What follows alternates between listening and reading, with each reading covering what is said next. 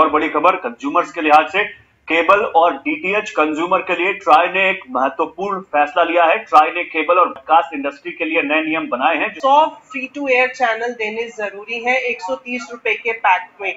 वो किस तरह से आप सुनिश्चित करेंगे? सौ चैनल जो है फ्री टू एयर है तो वो एक सौ तीस रुपए में मिलेंगे। और अब हम उसके बाद से चाहे वो डीटीएच हो चाहे केबल हो चाहे हिट्स हो चाहे आईपीटीवी हो बाकी जितने भी माध्यम हैं टेलीविज़न के उन सब में यही एक कॉमन फ्रेमवर्क लागू होगा।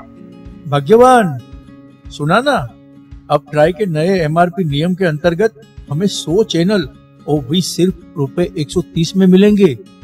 अब तो मैं तुम्हें घर के बजट में और भी कम पैसे दूँगा। पहले आप ठीक से समझिए और फिर अपना गणित कीजिए। असल में अगले महीने से आप मुझे कम नहीं बल्कि ज़्यादा पैसे देंगे। वो क्यों?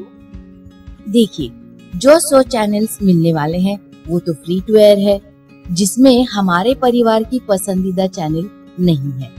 सो चैनल्स में से दूरदर्शन के चौबीस चैनल है जिसे हम दूर से ही दर्शन करते हैं। तो हम हमारे पसंदीदा चैनल अलग अलग ले लेंगे। फ्री टू एयर चैनल लेंगे ही नहीं। नहीं फ्री टू एयर चैनल्स आपको लेना अनिवार्य है। उसके बिना आप पे चैनल्स नहीं ले सकते। अच्छा अब बात करें अपने पसंदीदा चैनल्स अलग अलग लेने की, यानी आला काटे में लेने की। आपके लिए स्पोर्ट्स न्यूज़ हिंदी और इंग्लिश मूवीज़ मेरे सीरियल्स के लिए स्टार सोनी कलर्स जी सब टीवी अपने बच्चों के लिए cartoons songs Discovery History National Geography और इंसाइक्लोपीडिया की चैनल्स और मम्मी पापा के लिए धार्मिक चैनल्स जिनके अधिकतम चैनल के भाव उन्नीस रूपए प्रति चैनल है और फ्री टू एयर के एक सौ तीस रूपए। इसके साथ ही 18 परसेंट जीएसटी जोड़कर कुल रकम होती है 500 से भी ज़्यादा। हमारे आज के पैकेज के मुकाबले तीन से चार गुना महँगा होगा और बदले में सिर्फ़ चंद चैनल ही मिलेंगे। यदि हमारा केबल ऑपरेटर हमें हमारी पसंदीदा चैनल्स का एक पैकेज बनाकर दे तो? नहीं। ये बिल्कुल मुमकिन नहीं है। ट्राई के नए नियम के अनुसार cable operator free to air के साथ पे चैनल्स का पैकेज बनाकर नहीं दे सकते। ना ही एक पैकेज में दो प्रसारण करता यानी ब्रॉडकास्टर्स के चैनल्स रख सकता है। यानी कि हर प्रसारण करता यानी ब्रॉडकास्टर्स के पैकेज अलग अलग लेने होंगे और उस हिसाब से भुगतान देना होगा।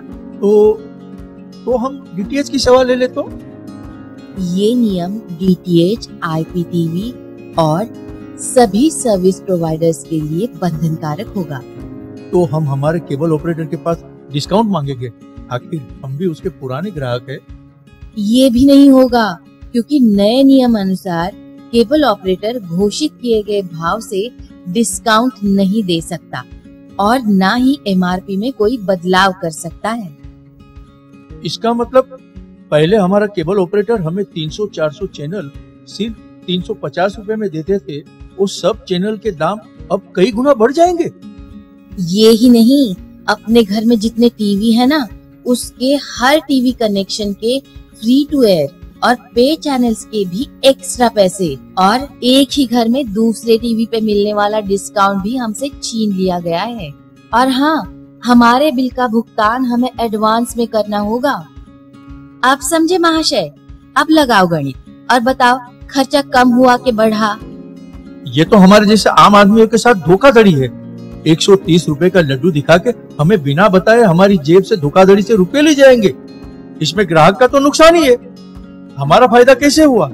फ़ायदा तो सिर्फ़ ब्रॉडकास्टर्स का ही है जिसमें अधिकतम विदेशी कंपनियाँ हैं। जागो ग्राहक जागो। हम विरोध करते हैं इस नियम का। आप भी अपना विरोध ट्राई की साइट पर ज़रूर दर्ज करें